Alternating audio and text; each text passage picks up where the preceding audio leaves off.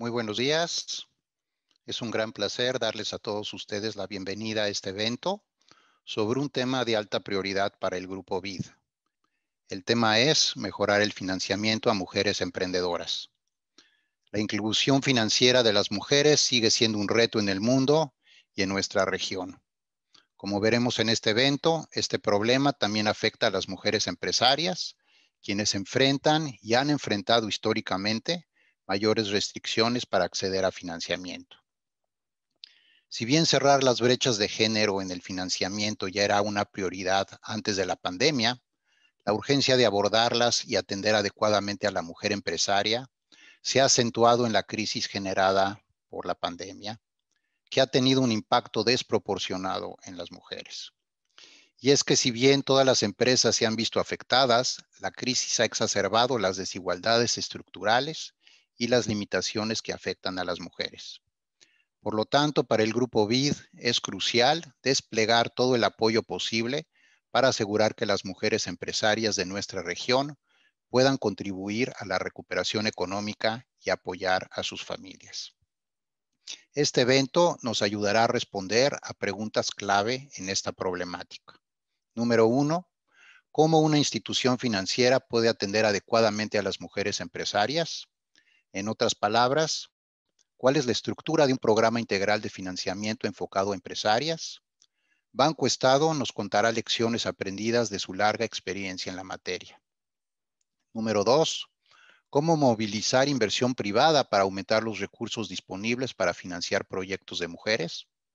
Esta pregunta es clave porque los países enfrentan enormes necesidades de financiamiento que requieren movilizar todos los recursos posibles para cumplir objetivos de desarrollo y los bonos de género constituyen una innovación en este contexto.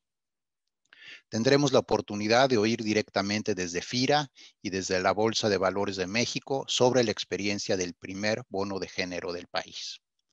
Me despido reforzando el mensaje de que el BID está comprometido con este tema que estamos trabajando en una amplia agenda con instituciones del sector público y privado para mejorar el financiamiento a mujeres emprendedoras. Ahora me da mucho gusto invitarles a escuchar el mensaje que la vicepresidenta ejecutiva del banco, Reina Irene Mejía, nos ha dejado para celebrar este evento. Muchas gracias. Buenos días. Es un honor darles la bienvenida a este evento sobre cómo mejoramos el financiamiento para las mujeres empresarias. Tema crucial para el desarrollo de nuestra región, para el Grupo BID y para mí. Hemos logrado avances en los últimos años para incrementar la inclusión financiera y brindar mayor financiamiento productivo. Pero las mujeres y sus empresas enfrentan todavía brechas y barreras para salir adelante en el mundo de los negocios. Para darles un panorama de la situación que las mujeres enfrentan, déjenme contarles un par de cifras impactantes. El 70% de las pymes dirigidas por mujeres que solicitaron un préstamo bancario no lo obtuvieron. El 30% de todas las empresas lideradas por mujeres no tiene ninguna fuente de financiamiento externo. Esto en comparación con el 25% de las empresas dirigidas por hombres. Irónicamente, las empresas manejadas por mujeres generan aproximadamente un 10% más de ingreso que las empresas manejadas por hombres. Esta brecha es un enorme problema para América Latina y el Caribe, ya que las empresas dirigidas por mujeres representan una cuarta parte del total. Y por otro lado, tenemos el porcentaje más alto de mujeres autoempleadas en el mundo. Es más, en encuestas realizadas al respecto, se ha preguntado cuál es la barrera más importante para iniciar una empresa o el principal motivo por el fracaso de su negocio. Las mujeres respondieron que se debe precisamente a la falta de acceso al financiamiento. Esto se traduce en una brecha financiera de 91 mil millones de dólares. Este ya no es un problema de inclusión, sino también un problema económico, ya que mejorar el acceso a financiamientos es clave para asegurar que las mujeres no estén en desventaja para contribuir a la economía y ser una parte activa de la recuperación post-pandemia.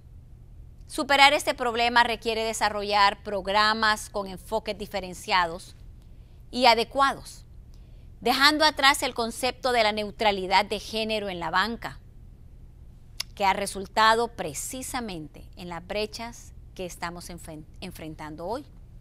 Estamos convencidos de cerrar esta brecha. Al cerrar esta brecha, se beneficiaría no solo las mujeres, sino la sociedad, las empresas y nuestros niños y niñas, que son nuestro futuro. Por eso este evento me entusiasma mucho. Hoy vamos a conocer innovaciones que han demostrado un gran potencial de impacto en el desarrollo y replicabilidad, como es el programa En Chile Crece Mujer del Banco Estado, que atiende a las mujeres emprendedoras de manera integral a través de apoyo financiero y no financiero. ¿Qué mejor para entenderlo que escuchar de primera mano la historia de Gloria David, una emprendedora chilena que nos contará cómo el programa le ayudó a hacer crecer su negocio?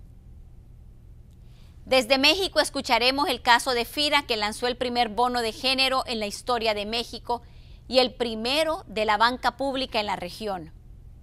Este ha tenido un gran éxito en los mercados financieros. Alan Elizondo, director general de FIRA, nos contará acerca de esta experiencia. Y María Ariza, directora de la Bolsa Institucional de Valores de México, hablará sobre la reacción del mercado. Desde el Grupo BID estamos comprometidos con apoyar los esfuerzos de la región por mejorar la inclusión financiera de las mujeres empresarias. Y consideramos a los bonos de género como una innovación clave para este propósito. De hecho, el grupo BID ha participado en cinco de los seis bonos de género que existen en la región. Cuatro emitidos por bancos comerciales con la participación de BID Invest y el bono de FIRA, al que brindamos asistencia técnica.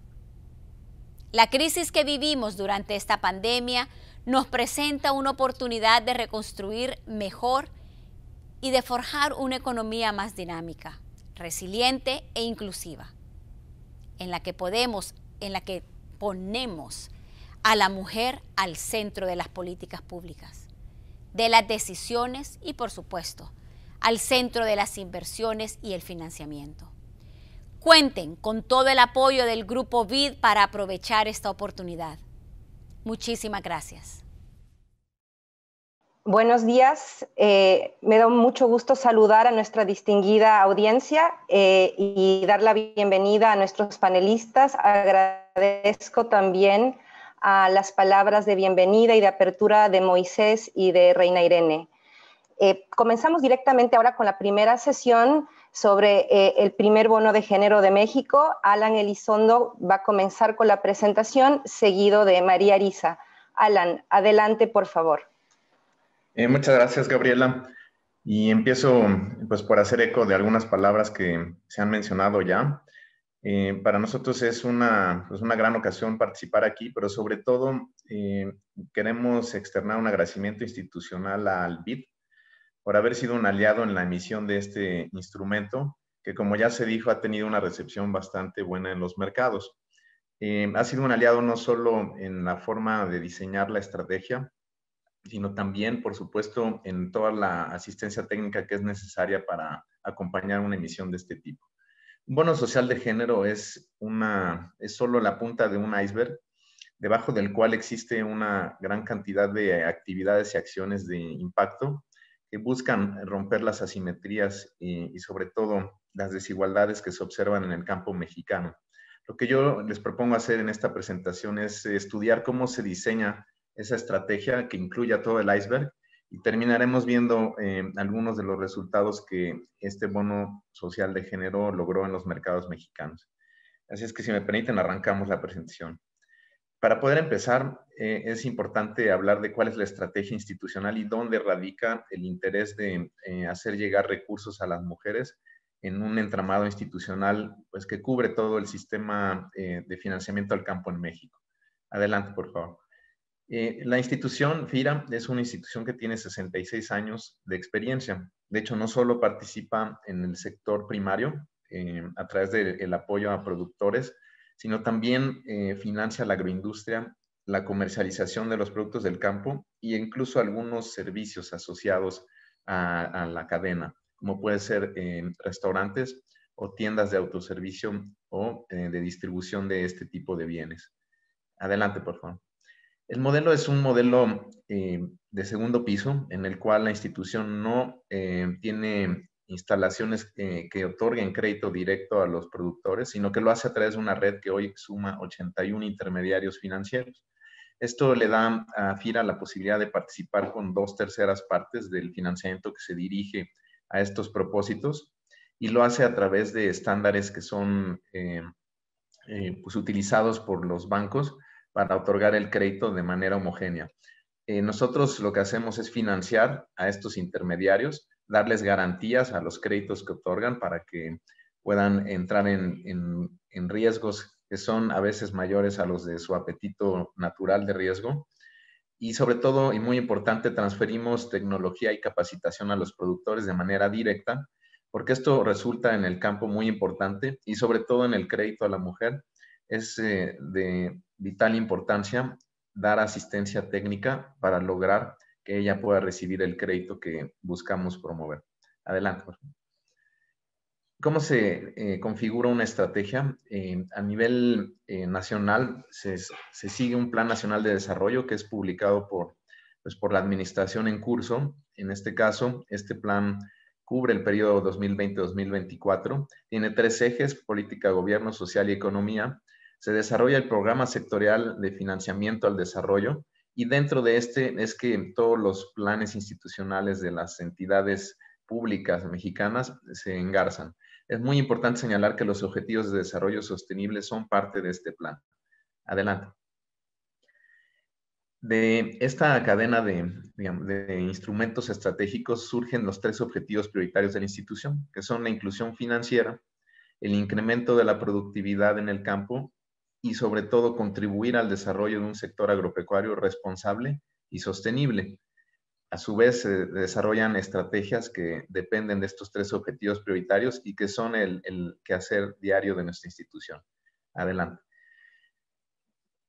De esta forma, estas estrategias regresan y si las eh, engarzamos en esta, pues en esta visión, van eh, combatiendo algunos de los rezagos que se cuentan en México para los objetivos de desarrollo sostenible. Entonces, esta es la forma en que se engarza la agenda. Como se puede ver, igualdad de género, el objetivo de desarrollo sostenible número 5, es uno de los que se atienden con eh, la estrategia institucional. Adelante. Bueno, eh, ¿cómo es que FIRA, dentro de esta estrategia, atacan eh, esta problemática tanto ambiental como social que se presenta en el campo mexicano. Adelante. Hemos instrumentado una, política de tres pilares en la cual eh, se, inicia por un, pilar, es el más natural, implica que todas las acciones de la institución no dañen, ya sea no dañen al medio ambiente a través de su financiamiento, o que no estén financiando empresas que tengan problemáticas de tipo social. Entonces, eh, voy a entrar a más detalle, pero es lo primero y, indispensable de hacer en una estrategia eh, de sostenibilidad. Lo segundo es hacer el bien. Aquí eh, la estrategia o el pilar consiste en contribuir con soluciones al problema que se presenta a través de dar incentivos, a través de los instrumentos que manejamos para poder abatir los problemas que se presentan ya sea en el ámbito ambiental o social.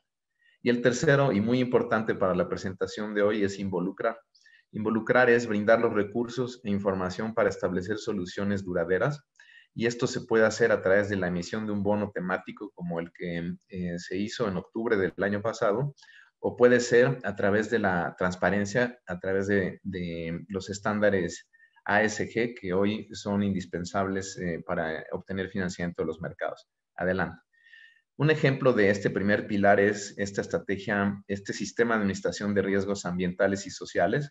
Es como cualquier otro sistema de riesgos, una metodología que se utiliza para originar créditos en la institución, donde se identifican los riesgos, se evalúan y califican, se introducen en su caso medidas para ah, abatir eh, los impactos que se puedan eh, observar en el financiamiento, mitigar estos riesgos ambientales y sociales, y luego se, supervisan eh, que estas medidas hayan sido puestas en marcha.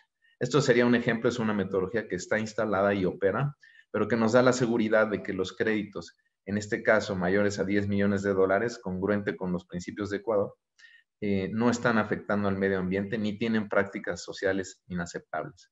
Adelante. Un ejemplo del principio de hacer bien es eh, desarrollar actividades o, programas o instrumentos que vayan a favor de los conceptos eh, que se quiere fomentar. Solo entraré en el de igualdad de género. En el igualdad de género, eh, la institución lo que ha desarrollado son tres programas. El programa de agricultura familiar que atiende primordialmente a, mujeres a través de las cajas de ahorro. Un programa de financiamiento rural que tiene precisamente el perfil y lo voy a describir más adelante.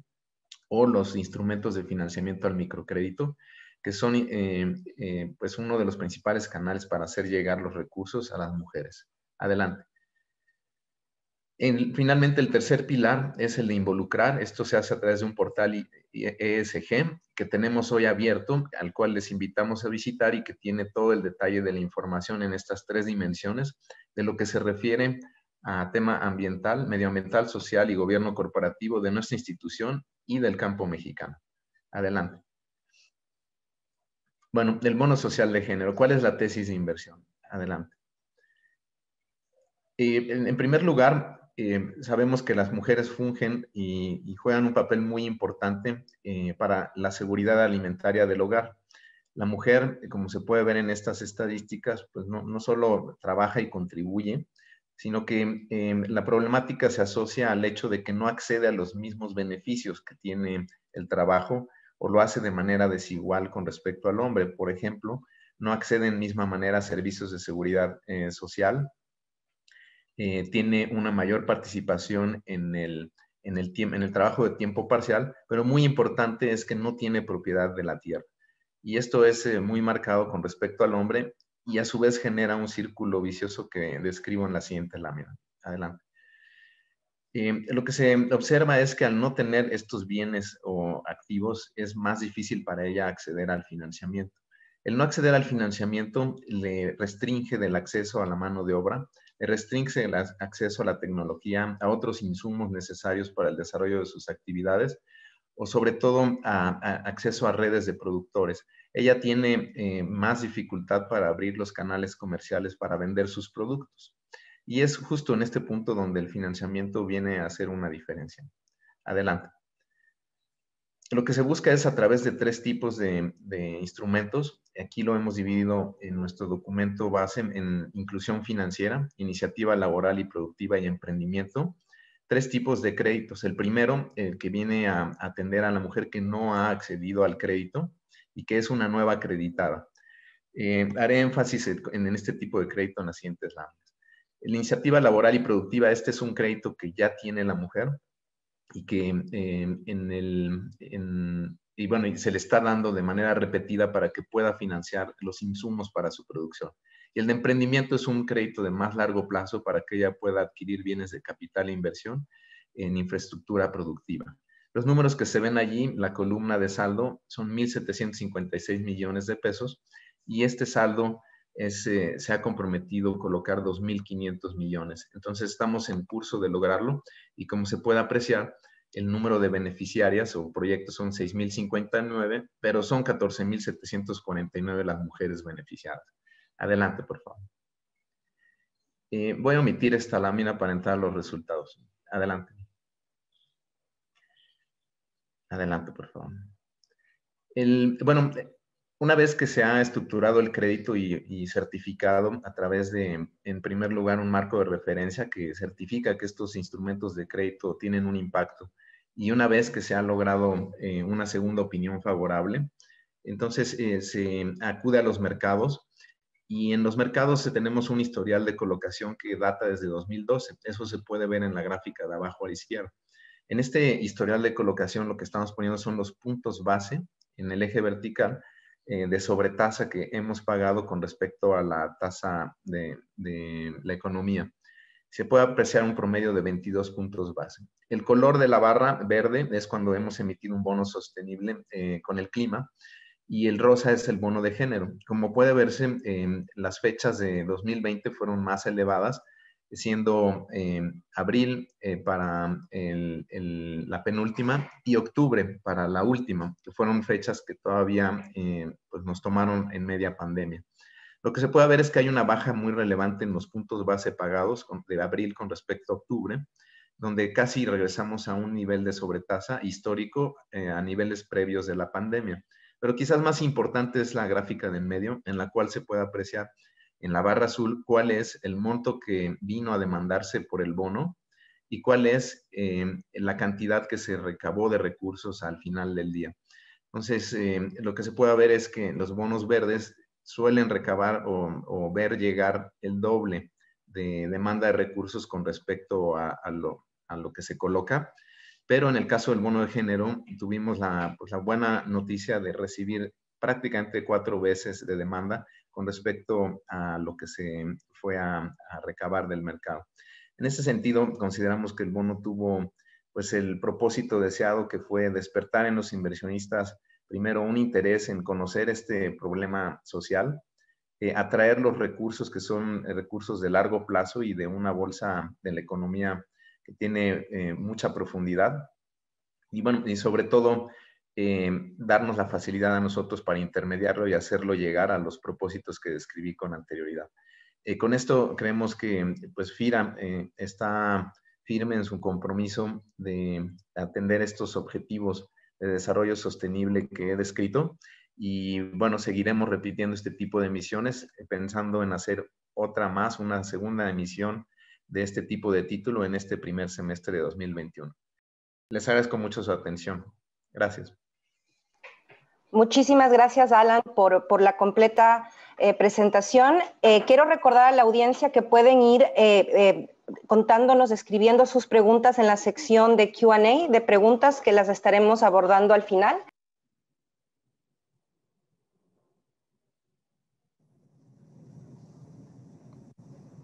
Tu micrófono, Gabriel. Disculpen, decía que muchas gracias Alan por la, por la excelente presentación. Quería recordarle a la audiencia que nos pueden mandar sus preguntas por la sección de QA, de preguntas. Y ahora, sin más, por favor, María, te pasamos la palabra que nos cuentes la, perspectiva del mercado y de la bolsa. Claro que sí. Eh, en primer lugar, muchísimas gracias al BID por esta honrosísima invitación. Eh, verdaderamente me siento muy, muy orgullosa de participar en este evento tan relevante. Y bueno, quería platicarles desde la perspectiva del mercado cómo se vivió esta colocación tan exitosa de FIRA.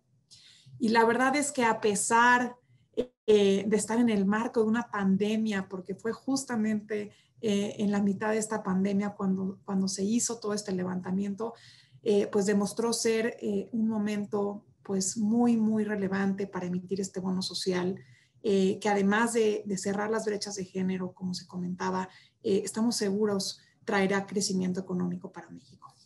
Y pues este primer bono social que eh, emite FIRA, pues obtiene una tasa muy, muy competitiva, que incluso se situó en niveles pre-COVID con TIE más 27 puntos base. Es muy importante mencionar que FIRA obviamente cuenta con una calificación AAA y una perspectiva estable al ser una entidad ligada eh, con el gobierno y con respaldo de nuestra vaca central. Como resultado de esta colocación de los tres bonos, eh, se captó un eh, máximo, como comentaba Alan, de 10 mil millones, con una demanda global de 30 mil 292 millones de pesos, lo que representa, como comentó Alan, pues una sobredemanda de casi cuatro veces. El bono despertó el interés de instituciones bancarias, como eh, BBVA, Banorte, Fores, fondos de inversión, eh, por supuesto, eh, público inversionista, por ser la primera en México en enfocarse a apoyar la inclusión y empoderamiento de la mujer. Causó revuelo en nuestro país, en todas las organizaciones y asociaciones de la sociedad civil que tenemos pues, y que buscamos apoyar a temas de género. Y yo no puedo más que agradecerle a FIRA, agradecerle especialmente a Alan Elizondo por haber confiado en nosotros, eh, porque, porque pues nos hicieron parte de esta eh, historia de éxito.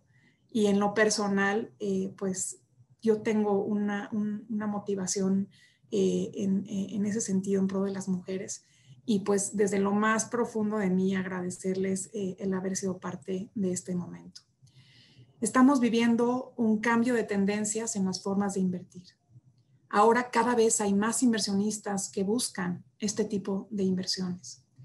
Este, en este caso eh, es un bono enfocado al desarrollo social, un bono, un bono, de género, un bono rosa que ayuda a las mujeres, en su mayoría en zonas rurales.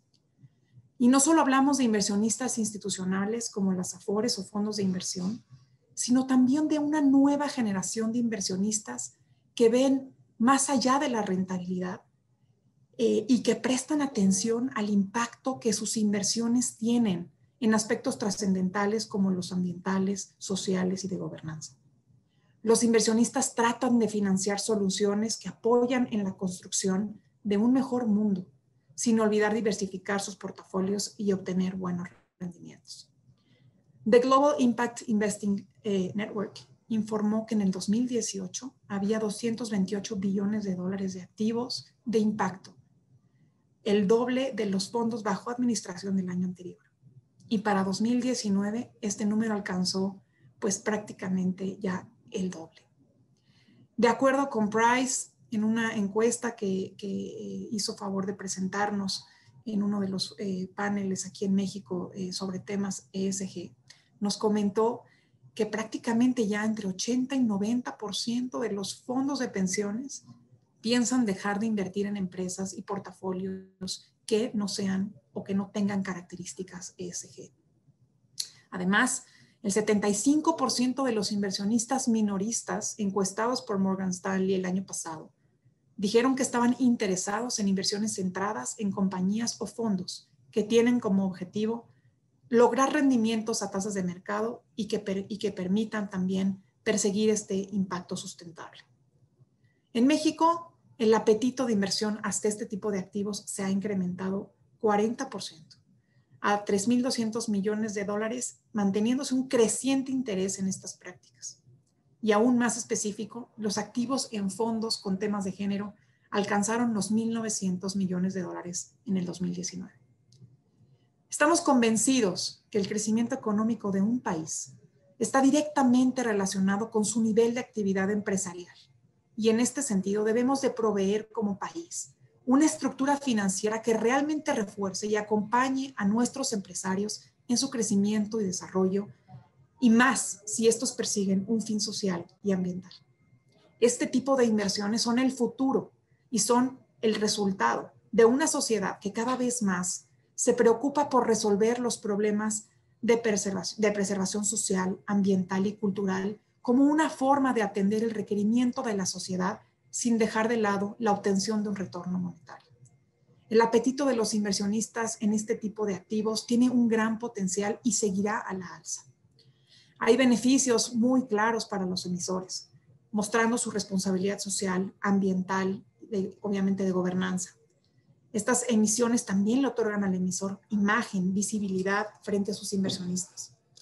Las etiquetas ESG son un elemento diferenciador que permite identificar estos activos y obviamente contar con este eh, aval y, interés de parte eh, de sus inversionistas, otorgando transparencia de los recursos. Para los inversionistas esto también tiene muchos beneficios, como la mayor diversificación de sus portafolios con rendimientos competitivos y además el poder dirigir estos recursos a proyectos específicos alineados con sus propios intereses eh, eh, en términos obviamente de eh, responsabilidad y, de apoyo a nuestro, a nuestro mundo. Además de estos bonos temáticos, se pueden encontrar otras opciones de instrumentos ESG que brinden buenos rendimientos.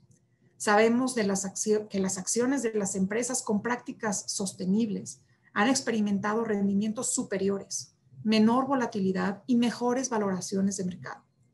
Los índices MSCI ESG y FTSE 100 ESG han superado a sus homólogos principales. Esto se debe en parte a que las empresas líderes en ESG han visto hasta ahora menos recortes en los beneficios por acción que las que están rezagadas en estos criterios. También creemos que invertir en ESG, en renta fija, ayuda a evitar emisores que sean vulnerables a las rebajas de calificación y al riesgo de refinanciación, lo que permite también mayores retornos. A nivel mundial, los bonos verdes han caído menos que sus homólogos single A denominados eh, en euros en 2020. El año pasado, el índice de bonos verdes bajó el menos 0.08% en comparación con el menos 3.3% para single A's y menos 4.9% para vencimientos de 5 a 10 años en euros. Aún más sorprendente es el rendimiento a más largo plazo. Desde el primero de enero de 2017, los bonos verdes han dado una ganancia del 11% en comparación con el 3% para Euro Single A's y 5.7% para las empresas Euro 5-10 años. Creo que no estamos hablando aquí de una tendencia, estamos hablando de algo que ya llegó para quedarse. Es claro que las mujeres tienen menos acceso a crédito y a servicios financieros, lo cual limita su participación económica. Urgen acciones compensatorias a su favor que generen una mayor igualdad de oportunidades. Resulta fundamental garantizar procesos y herramientas de financiamiento para las mujeres y grupos vulnerables que les permitan un adecuado desarrollo del sector y fomentar la inclusión financiera. En Viva tenemos una posición privilegiada en el ecosistema financiero mexicano. Tenemos un gran compromiso con esta causa, por lo que hemos generado diferentes iniciativas a favor de este tema, buscando promover la responsabilidad corporativa y la necesidad de atender nuevos riesgos y desafíos financieros relacionados con estos temas, además de crear las capacidades para mejorar la calidad de la información disponible en el mercado y su revelación. Al reunir como viva a los actores en un espacio altamente regulado y transparente, eficiente y fiable, podemos fortalecer e incentivar el diálogo sobre criterios ESG y buscar mayores oportunidades, específicamente en productos que apoyen nuestro género, trazando como camino hacia el, hacia el futuro que anhelamos, un futuro próspero, un futuro justo, sostenible y con mayor equidad. Muchísimas gracias. Muchísimas gracias, María, Alan. Creo que el mensaje es claro, el potencial es enorme, eh, hay muchísimo interés de los mercados, pero también recordemos que hay un montón de trabajo previo que las instituciones tienen que hacer para poder eh, llegar a emitir un bono y creo que Alan nos contó toda la estrategia que ha estado detrás de estas acciones eh, de FIRA. Muchísimas gracias y ahora pasamos a la otra parte del evento. Vamos ahora a escuchar de eh, Mariali Muñoz, nos va a contar la experiencia del programa Crece Mujer Emprendedora, que es, si, si no me equivoco, el más antiguo eh, de su naturaleza en la región y por eso tiene muchísimas eh, lecciones aprendidas que contarnos. Mariali, adelante y muchas gracias por acompañarnos. Muchas gracias, Gabriela, y muy contenta de, estar acá en esta invitación que nos hicieron, que también feliz de poder contarles, como tú decías, las lecciones aprendidas de esto ya seis años que llevamos con el programa Crece Mujer, que ahora voy a colocar em, la pantalla que... Oh, ya. Bueno, como les decía, ahí les quiero compartir el programa Crece Mujer, que ya llevamos seis años, desde el año 2015, y bueno, comentarles, yo soy gerente comercial de Banco Estado Microempresas, y ahí obviamente van a ver dos logos, porque les voy a contar ahí como contexto en la próxima lámina, eh, de qué se trata este programa y dónde está inserto, ¿ya? Banco Estado Microempresa es quien lidera hoy día el programa Crece Mujer dentro de la corporación Banco Estado. Ya Banco Estado es uno de los bancos más importantes en número de clientes de Chile, yo podría decir el, más importante. Eh, ¿Por qué? Porque nosotros tenemos en Chile alrededor de dos, 18 millones de, de habitantes y Banco Estado tiene alrededor de 13 millones de clientes, ¿ya? Dentro de este Banco Estado bastante universal y, masivo está la filial Banco Estado Microempresa, de la cual yo dirijo la, lo que es la gerencia comercial, y desde ahí es de que se crea este programa Crece Mujer. Entonces, ¿por qué Banco Estado Microempresas? Existimos para que Chile sea un país más inclusivo, equitativo y con oportunidades que lleguen a todos. Esta filial de Banco Estado Microempresas se creó eh, hace 24 años con algo muy particular, pues en Chile no había un conocimiento y una especialización en todo el mundo del emprendimiento. ¿Ya? Y por eso es que hace 24 años nosotros somos especialistas en todo lo que es eh, la microempresa, el mundo del emprendimiento. Y por eso es que eh, les voy contando la, la, historia, ¿verdad? Desde que de esta filial de Banco Estado Microempresa es que nace el programa Crece Mujer. Nuestro propósito como empresa es promover la inclusión y el desarrollo económico-social de las y los microempresarios del país, contribuyendo a su progreso y bienestar a través de un banco ético, transparente, responsable y sostenible. O sea, efectivamente nos interesa que los emprendedores y emprendedoras les vaya bien. Ya esa es la, la, misión que tenemos como eh, Banco Estado Microempresa. Dale la, la siguiente lámina. Nuestra oferta de valor, que como yo les comentaba, nos hace especialista en el, en el mundo de la, de la, microempresa, se refiere principalmente a cuatro eh, pilares que eh, efectivamente hemos, hemos, ido teniéndolos a lo largo de todos estos 24 años que, que llevamos y que tiene que ver con ejecutivos especialistas en terreno.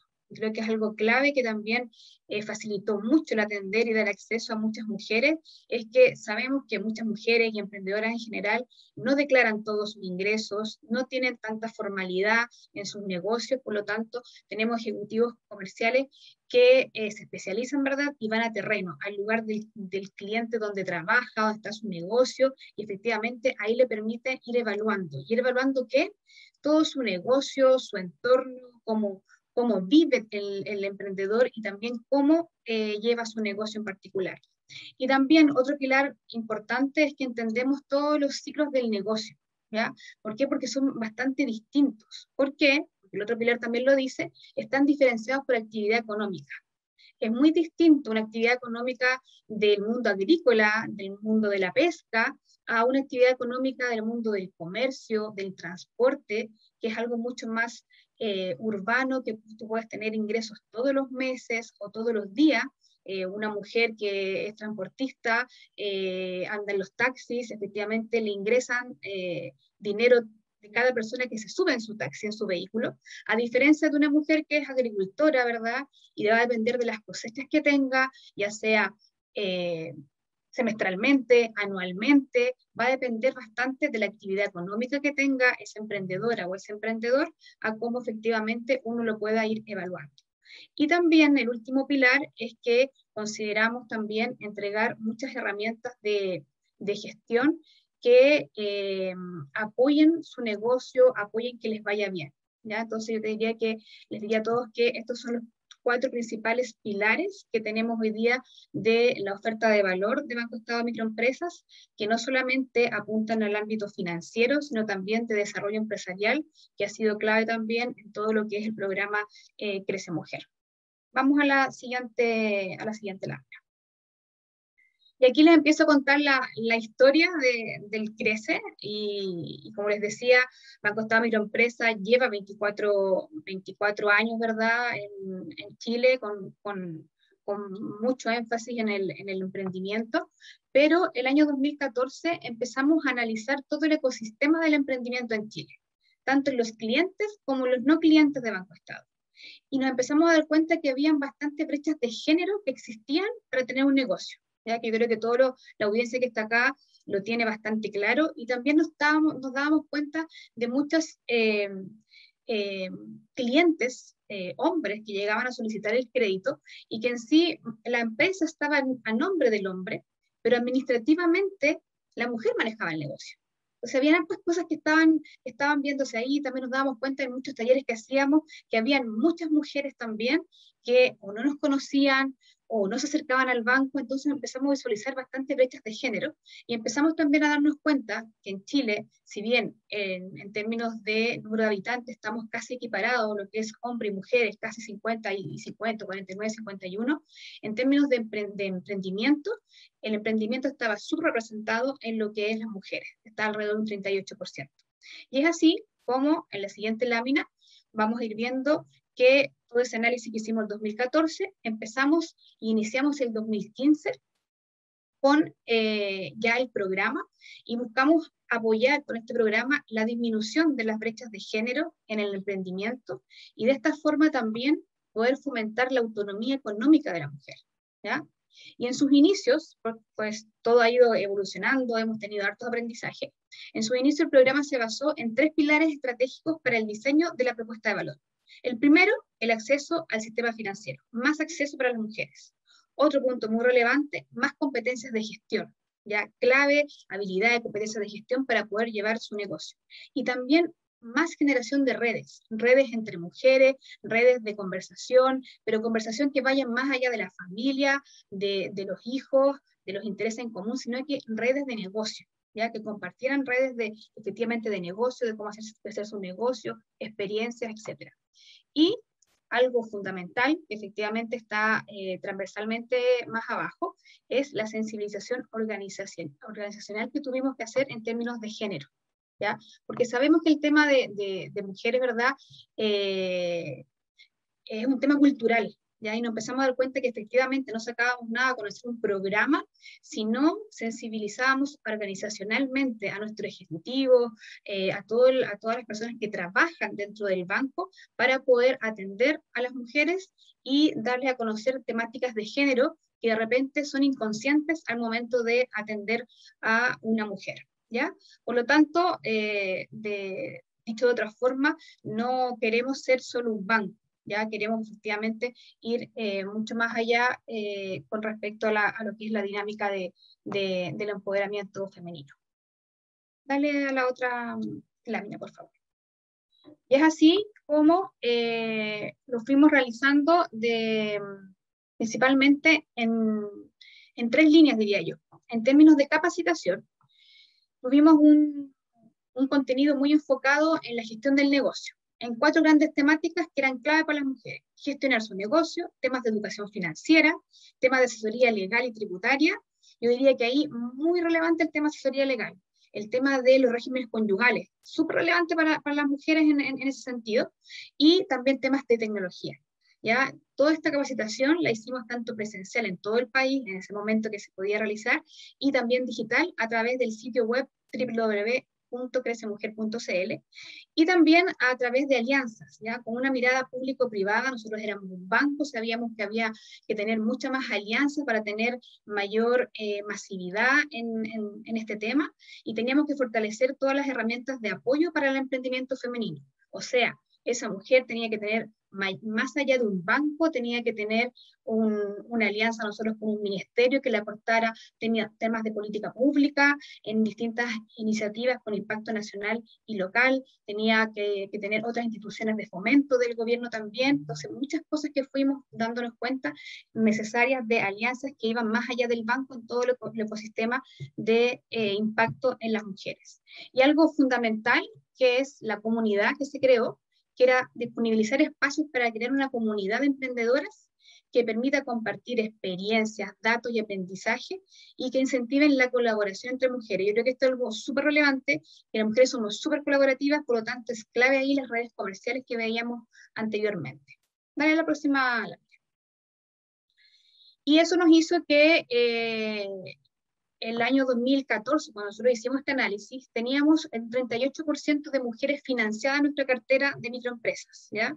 Hay que decir que Costa Microempresa tiene más de 780 mil eh, clientes y pasamos de un 38% el año 2014 a un 44% de mujeres financiadas el año 2019. ¿ya? Adicionalmente, eh, en la actualidad tenemos más de 300.000 mujeres inscritas en la comunidad eh, Crece Mujer, y más de 30.000 eh, mujeres también que son seguidoras de nuestra fanpage en, el, en Facebook. Clave también fue en el último tiempo estar a través de redes sociales eh, con la comunidad del, del, Crece Mujer. Dale a la próxima, a la próxima lámina, por favor. Y también eso nos permitió efectivamente obtener cierto reconocimiento, que ya un reconocimiento para nosotros estar acá, poder presentándoles el, el programa Crece Mujer, eh, eh, premios latinoamericanos sobre banca de desarrollo con, en, en Alide, eh, el GBA fue también un aliado nuestro, también tuvimos premios en 2015 por programa emergente, como le decía, que fue cuando recién nos inspiramos en este, en este ámbito. participamos de la academia el 2017 y también tuvimos el 2018 un premio de liderazgo y también fuimos caso de estudio el, el 2018 Dale a la siguiente, a la siguiente lámina.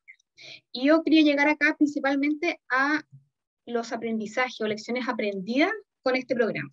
En primer lugar, decirle que las mujeres sí o sí requieren más información para facilitar su acceso al sistema financiero, disminuir esa sensación de autoexclusión, de que a mí como mujer no me van a atender, de ver un banco así muy grande y que no, yo por ser mujer y tengo un emprendimiento, un negocio chiquitito, algo por hobby quizás, no, ya las mujeres requieren más información y fue lo que nos dimos cuenta, que a pesar de estar en el mundo del emprendimiento hace 24 años, hace 6 años que dijimos tiene que haber algo específico, orientado y muy especial para las mujeres emprendedoras de nuestro país.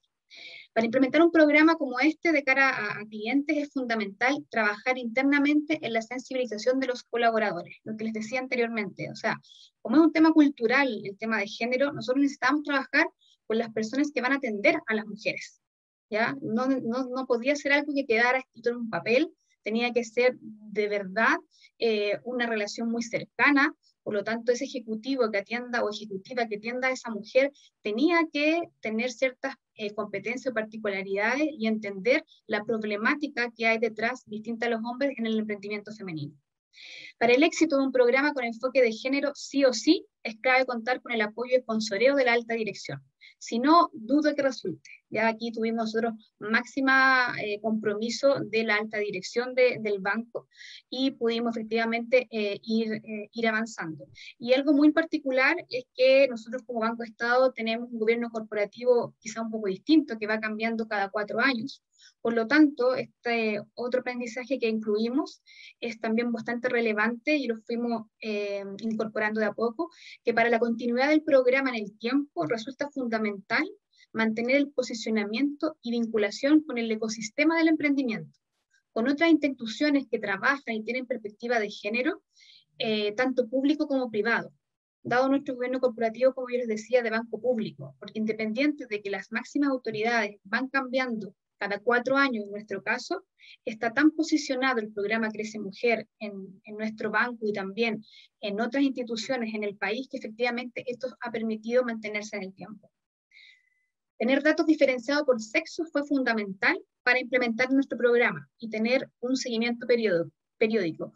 Eh, me ha tocado participar en otros eventos y efectivamente el tema de la información es clave en términos de, cómo llevar esto y efectivamente para nosotros como tenemos también muy disgregada la información por actividad económica, cantidad de agricultores, hombres, mujeres, cantidad de comerciantes, hombres, mujeres, etcétera, y eso efectivamente nos permitió en las mismas instancias de seguimiento de resultados, de cómo le va a la empresa, eh, mostrar las hombres y mujeres efectivamente tenía un enfoque muy especial y ha sido fundamental para mantener el programa vivo. Es factible también focalizar la gestión comercial hacia la atención de mujeres sin dejar de atender a los hombres. ¿A qué me refiero con esto? Es que en su momento eh, se nos vio como una locura hacer campañas comerciales dirigidas a mujeres porque nos decían, si hacemos campañas comerciales con tasas rebajadas para mujeres, qué sé yo, vamos a desatender a los hombres. Eso no fue así, eh, lo hicimos en nuestra empresa y efectivamente aumentamos la productividad, aumentamos las colocaciones, cosa que dimos eh, más eh, financiamiento para las mujeres y también seguimos atendiendo a los hombres, por lo tanto la cantidad de colocación de la empresa efectivamente en los, esos meses aumentó en su globalidad. También que existe un alto interés de las emprendedoras en capacitarse y en participar de espacios de desarrollo para sus negocios es clave. Ya es clave, es clave, es clave eh, que cada una de ellas se pueda capacitar y ese tema lo tiene que tener un programa eh, en particular para las mujeres. Y que las redes y la comunidad son un factor relevante de confianza para las emprendedoras y las plataformas sociales como Instagram, eh, Facebook, efectivamente son un espacio de encuentro de las emprendedoras entre ellas y con, con, con la marca que permiten que sea perdurable en el, en el tiempo. Sigamos la otra, en la otra lámina. Y solamente decirles que ahí están precisamente los, los aprendizajes que hemos tenido a lo largo de este tiempo y solamente decirles que con lo que ha sucedido con la pandemia, obviamente a nivel internacional y también obviamente aquí en Chile, nos dimos cuenta que, como yo les decía, pasamos de 38% a un 40, a un 44% en el año 2019, nos vimos afectados por la pandemia, donde empezó a disminuir efectivamente el porcentaje de financiadas, y por eso es que nos dimos que nos dimos cuenta que teníamos que volver a relevar y poner mucho más sentido, sigue, sigue, eh, a nuestro programa y por eso es que volvimos a darle una nueva mirada, porque efectivamente con la pandemia impactó bastante en eh, el empleo eh, femenino en nuestro país, principalmente en el emprendimiento, y hoy día tiene una nueva mirada, un nuevo reimpulso, el programa Crece Mujer, yo soy mujer, yo soy Crece Mujer, esta comunidad participativa y con sentido de pertenencia se releva y genera una mayor vinculación con las emprendedoras para empujar hoy día eh, cuatro ejes de trabajo, ya eh, un poquito distinto y con algunos aprendizajes con respecto a los tres pilares que se inició. Acceso, desarrollo, comunidad, inspiración, que se lo explico eh, brevemente en la próxima lámina. En términos de acceso, informar sobre productos y servicios financieros de forma cercana. ¿ya? Por eso es que es clave que eh, los ejecutivos tengan ese énfasis mucho más cercano y también los canales remotos que también eh, atienden a, a los días las emprendedoras también puedan aportar en términos de educación financiera, en términos de los usos de los productos y cómo también una mujer llega a presentarse a un banco. Ya eso también lo hemos ido avanzando bastante en términos de facilitar ese acceso y de enseñarles cómo se tiene que preparar para presentarse ante un banco. En términos de desarrollo, se siguen entregando herramientas para el desarrollo de su negocio, principalmente en temas digitales, dado la pandemia, efectivamente, que el tema presencial ha ido eh, disminuyendo, y se aumenta todo el tema de espacios de comercialización. Han aumentado hoy día las ferias digitales que hacemos, eh, hay un mercado aquí también que sacamos un mercado para eh, emprendedores también eh, virtualmente. En términos de comunidad, generar espacios de conexión y redes entre emprendedoras y con mujeres expertas en distintos ámbitos también, es que eh, efectivamente en esa comunidad se compartan eh, experiencias, tanto éxitos como fracasos, para que otros también puedan ir aprendiendo y se puedan conectar entre ellas. Y algo que se agregó que fue muy relevante es el ámbito de la inspiración. Es visibilizar a mujeres reales, líderes, empoderadas, de cualquier tipo de segmento, como referentes que generen inspiración a través de su experiencia. Eso lo hemos hecho a través de paneles y también a través de un interesante premio que lanzamos el año pasado por primera vez, que nos fue muy bien a través de las redes sociales, dada la pandemia, y fue el premio Crece Mujer, que fue su primera versión el año pasado. ¿ya? Y eh, dale a la siguiente lámina. Y yo diría que a grandes rasgos, eh, esa ha sido como la linda historia desde el año 2015 en adelante que hemos tenido como Banco Estado Microempresas del programa Crece Mujer, pero más que yo contarles o, poder después eh, responderle algunas preguntas, yo creo que lo mejor es que Gloria David, que es la fundadora de T Tetera, que más adelante va, a compartir con usted, es una de nuestras clientas que, ha vivido la experiencia del Crece Mujer y que nos tiene muy contenta y qué mejor que ella que cuente su experiencia más allá de los de de la historia que yo les cuente desde el diseño. Así que ahí dejo ahí eh, a Gabriela para que nos pueda seguir eh, diciendo lo que Muchas gracias por la invitación. Muchas gracias, María eh, Gloria, por favor, adelante. Hola a todos. Muy agradecida por la invitación, Gabriela, a Mariali, por pensar en mí dentro del banco. Yo soy una simple clienta, pero la verdad es que estoy muy agradecida y muy honrada de tener esta oportunidad de poder compartir con ustedes mi experiencia. Bueno, ¿quién es Gloria David? Gloria David es una mujer de 38 años, chilena, mamá, emprendedora, muy busquilla, una esposa abnegada. Y dentro de todo esto se le ocurre crear una pequeña pyme, que es de Tetera. En Tetera lo que hacemos es vajilla ilustrada a mano, pensada para la hora del té. Acá en Chile tenemos como costumbre tomar once y en el sur, que es mi lugar de origen, más todavía porque el frío nos obliga a estar juntos y entonces, bueno, creamos estas pequeñas teteras como estas, así para que las vean. Y vamos ideando y generando eh, color para compartir a la hora de once. Y esta vajilla tiene detalles únicos, tiene colores únicos, tiene un concepto detrás que está enfocado en la hora de once. Y emprender a mí me ha significado muchísimo. O sea, emprender con esto, que es mi pasión, que amo la hora del té, amo la hora de once, amo pintar. emprender ha significado la oportunidad de poder estar viendo crecer a mi hija, que tiene cinco años en este minuto, y poder ayudarla en su crianza y en este minuto poder estar con mi mamá haciendo los cuidados que son paliativos en el caso de ella. Ha significado el tiempo, me ha dado el espacio para poder estar avanzando cada día más en este emprendimiento y he podido lograr esta independencia económica que muchas mujeres buscamos a lo largo de toda nuestra vida. Es un poder hacer lo que quiero, eh, hacer en el tiempo que quiero, compartir con quienes quiera y poder ir creciendo y ver crecer esta pequeña idea que se me ocurrió hace un tiempo y estarla convirtiendo ahora en una empresa. Llegué al banco, al Banco Estado, eh, porque era la única empresa, o la única banca en realidad, que me permitía obtener una tarjeta débito como empresa. Habitualmente las empresas bancarias te ofrecen créditos o te ofrecen tarjetas, pero tienes que tener eh, antigüedades laborales, tienes que tener un montón de requisitos previos que como emprendedora no los tenía. Considerando además que yo partí con solo 18 mil pesos, no partí con un capital muy grande, 18 mil pesos que son 25 dólares aproximados. Entonces mi capital inicial fue muy bajo, mi crecimiento era muy pequeño y llegar a un banco, como decía Mariali, llegamos con una postura muy, muy de pollos, muy sumisas, muy chicas, porque nos sentimos así muchas en este caso. Eh, y luego de esto logré obtener mi tarjeta y dentro de este gran banco existe esta comunidad que es la comunidad Crece Mujer.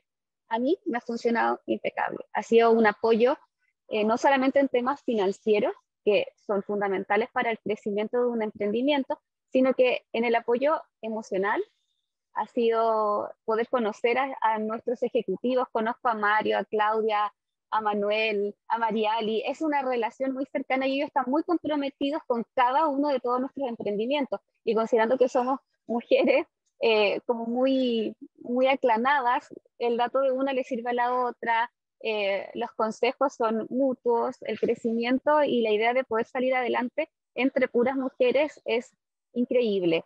Ha sido un apoyo increíble, como les comentaba, en todas estas áreas. Ellos se juegan por nuestro proyecto y es verdad, como decía María Alice, se percibe eh, esa, esa, conexión, porque en otras bancos yo tengo cuenta, pero no tengo una relación con un ejecutivo que me diga, oye, invierte en esto, haz esto, te sugiero crecer en esto, podríamos eh, estudiar sobre marketing, acá puedo hacerlo y puedo ir desarrollando nuevas habilidades dentro de mi emprendimiento, porque a la larga lo que nosotras queremos como mujeres emprendedoras es que esto se convierta en un negocio con todas las de la ley, que tenga un crecimiento sostenible en el tiempo.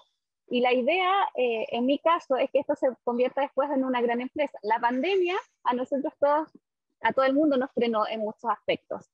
En un emprendimiento pequeño como el mío, obviamente frenó muchas cosas que iban en crecimiento. En mi caso en particular, yo quería sacar una línea de té antes de que ocurriera toda este, esta paralización del mundo y el Banco de Estado sacó un crédito que es el FOGAPE, que tiene una tasa casi cero, o sea, una tasa muy, muy baja, y pude optar a él y pude sacar mi línea de T en pandemia. Bajo todo este contexto, aún así pude seguir avanzando porque contaba con el apoyo de ellos y considerando además que no, no era un, un, crédito de muy, eh, muy riesgoso para mí. Em, entonces permitió sacar esta línea de T. Mira, les voy a mostrar acá para que aprovechen de ver. Es mi línea de T orgánica. Eh, así, así que por lo, por lo, pronto, y lo que les comentaba es que el banco me ha ayudado en no solamente lo económico, en lo financiero, hay una vitrina muy grande de emprendedoras donde nosotros podemos mostrar nuestros productos. También nos ha ayudado con talleres, con cursos.